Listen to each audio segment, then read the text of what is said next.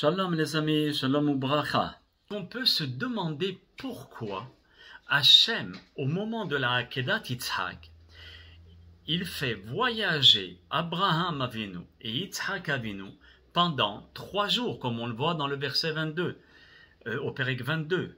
Donc, au chapitre 22, on voit Abraham et Yitzhak en train de voyager pendant trois jours. On peut se demander pourquoi Akadosh Baruch a fait ainsi.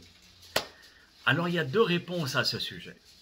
Le Maharal de Prague, Zechot Kadosh les Bracha, il explique que les effrontés et les moqueurs de cette génération pouvaient accuser Abraham et Yitzhak d'avoir agi dans la précipitation et sans réflexion.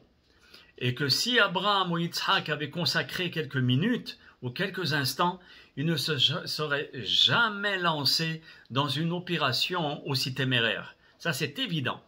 C'était pour les faire taire.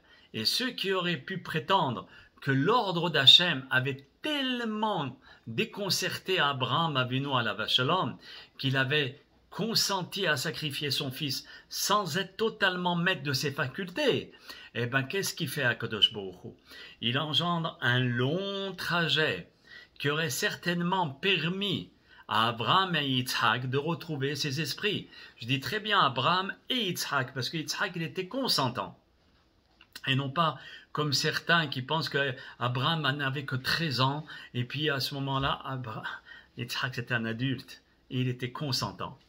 Et ils n'ont pas rebroussé chemin et l'empressement d'Abraham a nous d'immoler son fils unique, de faire la Hakedat Yitzhak a été un acte de foi suprême, attentivement pesé parce qu'il y avait trois jours.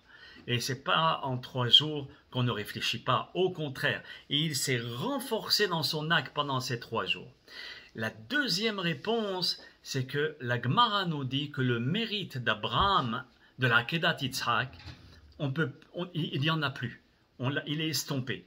On a, tout pris le mérite d'Abraham Yitzhak et la Akedat Yitzhak. Alors vous allez me dire, alors pourquoi euh, pendant euh, Rosh Hashanah, on chante le Akedat Yitzhak et on dit par le mérite de la Akedah, et etc. Alors quoi, c'est du, du bluff.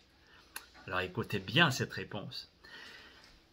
La mitzvah en elle-même de l'acte de la Akedah, on ne l'a plus, elle a été déjà prise par les anciennes générations. Mais les trois jours de marche qui sont la préparation à la mitzvah, ça, on l'a toujours. Et c'est ça, si vous voulez, quand on prépare une mitzvah, c'est encore plus important qu'une mitzvah elle-même.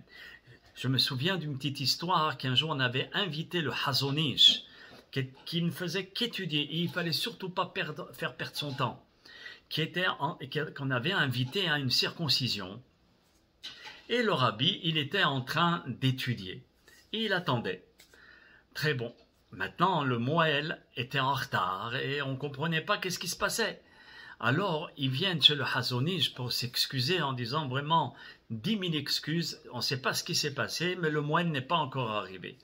Alors le Hazonish dit, la préparation d'une mitzvah, c'est une mitzvah en elle-même. Ça veut dire là, maintenant, vous vous préparez, profitez-en de prier, de demander à ce que la Mila va bien se passer et que ce soit un bon tzaddik, ce bébé qui va avoir la Mila. Cette préparation-là, c'est une mitzvah en elle-même. C'est pour cela que nous, qui méritons les trois jours, c'est dans le mérite des trois jours, regardez combien ces trois jours ils sont capables de nourrir des générations et des générations pour vous dire à combien elle, est importante. Voilà, ça c'est un des chidushim de la paracha de Vayera.